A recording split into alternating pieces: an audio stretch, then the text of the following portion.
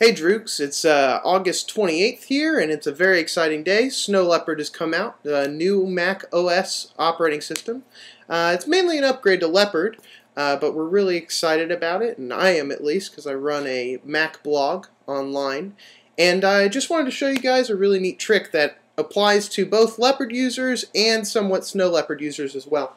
So let's go ahead and take a look at what I've got here. I've got a whole bunch of programs open at once right now. I got a little Safari, I got some calendar. Obviously, it looks like I'm pretty busy in the next couple of weeks here.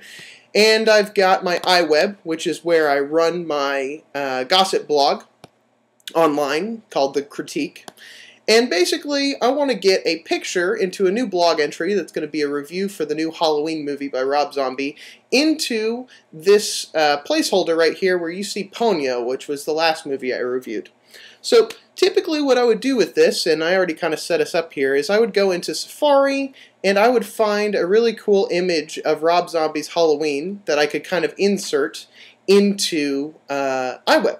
So it looks like I forgot to move my tabs around. You'll notice I've been watching some Ronnie Jenkins videos. Very cool stuff. Ah, here it is. Halloween poster. So the first thing I'm going to do is I'm going to click and drag my tab down so I can get this in a kind of a consolidated window here. And uh, here is my Halloween 2 poster image that I need. So if you're using standard Leopard, which uh, you might unless you went to an Apple store today, basically you know that the F3 key, or if you've got a unibody Mac, four fingers swiping downward on your trackpad gives you the expose, which I did once already in this video, but just note I've got this expose feature which allows you to spread out all of your windows and kind of run over them with your mouse and figure out which one you need to bring to the front. So, in Old Leopard, you can grab this Halloween poster, use that expose feature, yet again it's the F3 key, and then go find the window that you want to drop it in. In this case, it's going to be iWeb, which you can see right next to my mouse here. Hover for a second, and then go ahead and drop this uh, poster into that media placeholder. Now, that's not what we're going to do today. I want to show you a new feature of Snow Leopard, so I'm going to go ahead and escape out of that. Mm, probably just drop this on the desktop for now. And I'm going to go back to our Halloween poster.